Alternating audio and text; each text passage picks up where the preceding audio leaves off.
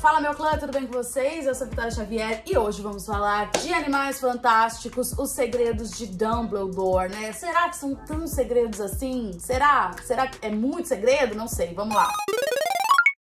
Antes de mais nada, já se inscreve no canal, vem fazer parte do melhor clã da melhor família da cultura pop. Quero dizer pra vocês que eu estava gravando até agora falando que nem uma louca e eu percebi que eu não tinha apertado o REC. Já me segue no Instagram, arroba. Lembrando que o vídeo não tem spoiler, né? E que eu também não vou falar sobre todas as polêmicas que envolvem J.K. Rowling, porque eu precisaria de um vídeo somente para explicar as polêmicas nas quais J.K. Rowling se envolveu nos últimos tempos, envolvendo animais fantásticos. Enfim, J.K. Rowling, né? Vocês sabem do que eu tô falando. Mas agora vamos ao que interessa. A gente tem basicamente um fio da meada que parte de uma história de amor, né? Entre Dumbledore e Grindelwald. E o que eu já vou elogiar, que é um dos pontos principais da trama, é a tensão e a química entre o Mads e o Jude Locke. Isso funciona muito bem. Afinal, teria que ter essa tensão meio emocional, afinal a gente tá falando de uma história de amor entre duas pessoas e também uma tensão entre o vilão e o herói, né? E nisso eles trabalham muito bem.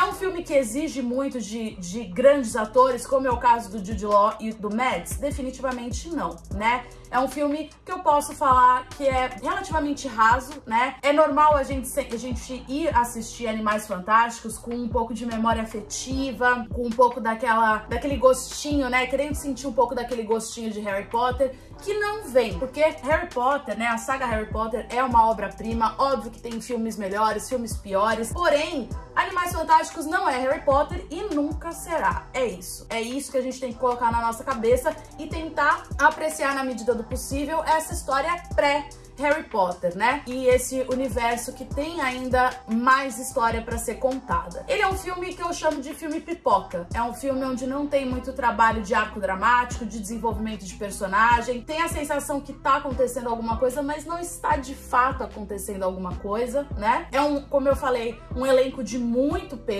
né? Desde Ed Redmayne até Maria Fernanda Cândido. Muita gente é sempre bom ver brasileiros ganhando destaque fora do país. A Maria Fernanda, se eu falar pra vocês que ela, ela tem muitas falas, estarei mentindo, tá? Ela interpreta a Vicência Santos, né? Mas ela não tem lá o seu grande momento. Ela tá ali e já, ok, tem um grande destaque? Honestamente, não, né? Mas o fato dela já ter aberto esse espaço numa produção como Animais Fantásticos já é mais do que louvável e maravilhoso. A gente tem também Ezra Miller, né, como Credence, e tem alguns personagens que eles são um pouquinho jogados, né, um pouquinho a, a, trama principal tá ali acontecendo e alguns personagens eles aparecem do nada e também somem do nada. Não tem meio começo, meio fim. Parece que eles servem ali só como, como apoio mesmo para a história acontecer. É um filme de efeitos visuais muito bonitos, muito bem feitos.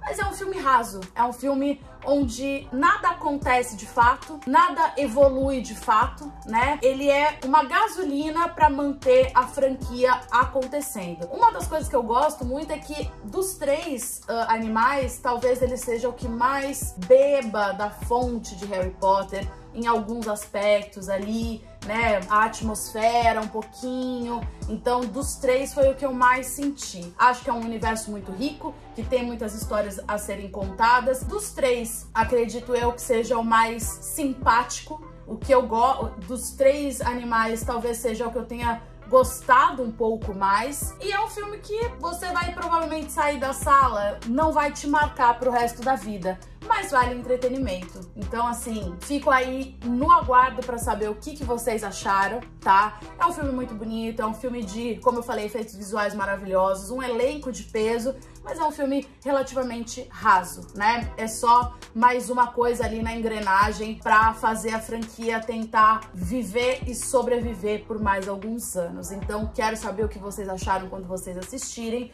e a gente se vê no próximo vídeo. Um beijo pelo mar.